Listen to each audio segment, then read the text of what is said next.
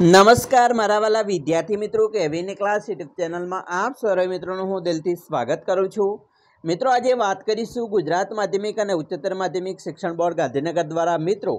October માસમાં આપણી પ્રથમ વાર્ષિક પરીક્ષાનું આયોજન કરવામાં આવેલું છે, જેમાં ધોરણ અગિયાર વિષય હિન્દીની આપણી જે પરીક્ષા છે તે કુલ ગુણ પચાસની હશે અને બે કલાકની અંદર આપણી શાળામાં પેપર પૂર્ણ કરવાનું છે. તો મિત્રો, નવી બ્લુપ્રિન્ટ પ્રમાણે તમારું જે પેપર છે એ આવવાનું છે. તે મુજબ આપણે પણ મિત્રો તૈયાર કર્યું છે. આ તમને પેપર છે એ ખૂબ જ તમારી આવનારી એક્ઝામમાં ઉપયોગી નીવડશે. તો વિડીયોની શરૂઆતથી અંત સુધી જોવાનું પણ મિત્રો ન ચૂકતા. ખાસ કરીને ચેનલમાં નવા છો તો ચેનલની નીચે જે લાલ કલરનું સબસ્ક્રાઈબનું બટન આપેલું છે, તેના ઉપર મિત્રો ડબલ ક્લિક કરી ચેનલ પણ અવશ્ય સબસ્ક્રાઈબ કરી આપજો. હવે આપણે વિભાગ નંબર એથી શરૂઆત કરીશું પ્રશ્નપત્રની. જેમાં निम्नलिखित प्रश्न के उत्तर एक एक वाक्य में दीजिए पहला प्रश्न मित्रों તમારો પૂછવામાં આવનાર છે કે कुछ पुरानी चीज़ों के पक्ष में आधुनिकता की परिचायक कौन कौन सी चीज़ों है तो जवाब आ रीते लखी सकिए कि कुछ पुरानी चीज़ों के पक्ष में कंप्यूटर सैटेलाइट और साइकिल जैसी चीज़ आधुनिकता की परिचारक है बीजू છે परशुराम का व्यक्तित्व कैसा है तो परशुराम का व्यक्तित्व अति क्रोधी क्षत्रिय कुलो कुलद्रोही बाल ब्रह्मचारी और अति गर्विष्ठ है એના પછી મિત્રો તમને निम्नलिखित प्रश्नों के उत्तर दो तीन वाक्य में लिखने का है જેમાં ત્રીજું છે કે दुनिया में किस प्रकार के लोग होते हैं तो जवाब આપણે મિત્રો આ રીતે લખી શકીએ कि दुनिया में तरह तरह के मनुष्य होते हैं कुछ बदमाश किस्म के व्यक्ति होते हैं तो कुछ सज्जन व्यक्ति होते हैं कुछ राजनेता स्वार्थी होते हैं तो कुछ ईमानदार होता है जो अपना पूरा जीवन देश को समर्पित करा कर देते हैं कुछ लोग ऐसी दुश्मनी करते हैं कि घात लगाकर बैठ रहते हैं कुछ ऐसे मित्र होते हैं जो सदा सहायता करने के लिए तत्पर रहते हैं એના પછી મિત્રો નેક્સ્ટ પ્રશ્ન છે તમારો ચોથો છે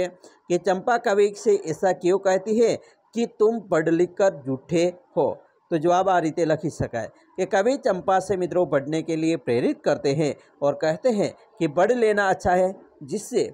तुम पत्र पढ़ सके या संदेश भेज सके चंपा ने कहा तुम पढ़ लिख कर कितने झूठे हो मैं तो ब्याह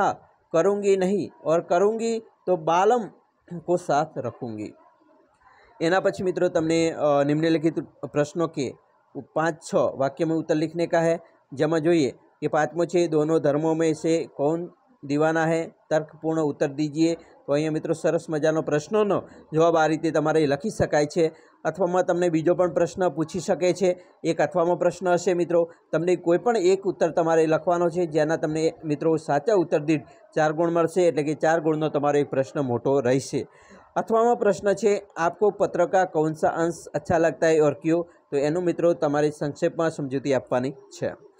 હવે વાત કરીશું પદ્યાંશ કા આશય સ્પષ્ટ કીજીએ. અહીં મિત્રો તમને એક પદ્ય કવિ પદ્ય એ પંક્તિઓ આપેલી છે. આ પંક્તિઓ તમારે સમજૂતી આપવાની છે. જેમ કે દુઃખ સુમેરીન સબ કરે સુખ મેં કરે ન કોઈ જો સુખ મેં સુમરીન કરે દુઃખ કહા તો કો હોય તો એ મિત્રો પંક્તિઓ છે એ તમને અહીંયા સમજૂતી આપેલી છે જો આ પંક્તિ પૂછાય તો આ રીતે તૈયારી કરી નાખજો બરાબર અથવામાં મિત્રો તમને બીજી પણ પંક્તિ આપેલી છે જો તમને પહેલી પંક્તિ ન આવડે તો બીજી પંક્તિ પણ તમે લખી શકો છો જેમ કે જો તો તોકો કાંટા બુએ તાહી બો તાહી બો વતુ ફલ ફૂલ તો હી ફૂલ કે ફૂલ હે વાકો હી તિરસુલ તો સરસ મજાની મિત્રો પંક્તિ તમને અહીંયા સમજૂતી સાથે આપેલી છે હવે આપણે વિભાગ બીમાં વાત કરવા જઈ રહ્યા છીએ વિભાગ બીની અંદર મિત્રો તમને બે એક એક વાક્યમાં પ્રશ્ન પૂછશે જેના બે એક એક ગુણ એટલે કે બે ગુણના બે પ્રશ્નો હશે સાતમું છે कि विस्मृत विस्मृति का वरदान कैसे मिलता है तो मित्र विस्मृति का वरदान संतों के सत्संग और विरांग के विराग के अनुष्ठान से प्राप्त होता है पची आठवों चंद्रशेखर आज़ाद की आज़ादीन आज़ाद किन गुणों के पोषक थे तो मित्रों चंद्रशेखर आज़ाद जीवन की पवित्रता सामाजिक निर्मलता व्यक्तिक उज्ज्वलता और नैतिक उच्चता इन गुणों के पोषक थे આગળ વાત કરીશું નિમ્નલિખિત પ્રશ્ન કે મિત્રો ઉત્તર दो तीन वाक्य में लिखने का है जिसमें नवमो છે गांधी जी के की सेल्फ में कौन कौन सी पुस्तकें थी तो मित्रों गांधी जी के सेल्फ में पहले खाने से सार्थ गुजराती जोड़नी कोष रिथी रिथी किंग क्रिश्चियनिटी પછી हजरत ईसा और ईसाई धर्म और श्रीमद् भगवत गीता और दूसरे खाने में रामचरित मानस श्री स्वास्थ्य वृत्ति आश्रम भजनावली और गीता आणी ગીતાએ આદિ પુસ્તકેથી પછી દસમો પ્રશ્ન છે છડીદાર કે હાથ में क्या था उसके पीछे कौन साल अ, छाल रहा था तो मित्रों पंचायत के छड़ी घर में घर के हाथ में पंच पंचलाइट का डिब्बा था उसके पीछे सरदार दीवान और પાંચ વગેરે છાલ રહે છે એના પછી પાંચ છ વાક્યમાં ઉત્તર લખવાનો છે જેમાં મિત્રો તમને પ્રશ્ન પૂછી શકે છે કે બાપુ કે બિસ્તર કો લેખક કયો મહાન માનતા હે તો એના વિશે મિત્રો તમને સમજૂતી આ રીતે આપી શકો છો અથવા તમને બીજો પ્રશ્ન પણ પી- પૂછી શકે છે કે ચંદ્રશેખર આઝાદ કી ચારિત્ર્ય અ, વિશેષતાઓ પર પ્રકાશ ડાલીએ તો એનો પણ જવાબ તમે લખી શકો છો આ રીતે આગળ જોઈએ નિમ્નલિખિત ગદ્યાંશ કા આશય સ્પષ્ટ કરવાનો છે જેમાં મિત્રો તમને અ, જોઈએ તો બારમો પ્રશ્ન છે જૂઠે જૂઠ શબ્દો में निहित नहीं है छल करने में है चुप्पी સાધકર ભી જૂઠ બોલા જા सकता है તો સરસ મજાનો જો જવાબ છે એ તમે અહીંયા લખી શકો છો અથવા આમાં બીજો પ્રશ્ન પણ આપેલો છે કે યદિ સચ્ચી રાહ પર હો તો तुम्हें ક્રોધ કરને કી જરૂરત ही નહીં બરાબર તો સમજૂતી અહીંયા મિત્રો આપેલી છે તમારે લખવાની છે વિભાગ સીની વાત કરીશું અહીંયા તમને વ્યાકરણ વિભાગ છે જેમાં સમાસનો વિગ્રહ કરવાનો છે પહેલું છે ત્રિકોણા તો ત્રિકોણા તીન तीन कोणों का समूह। पची अष्टधातु अष्टातु एट आठ धातु का समूह बराबर तो आ मित्रों विग्रह करके समाज के प्रकार बताने का है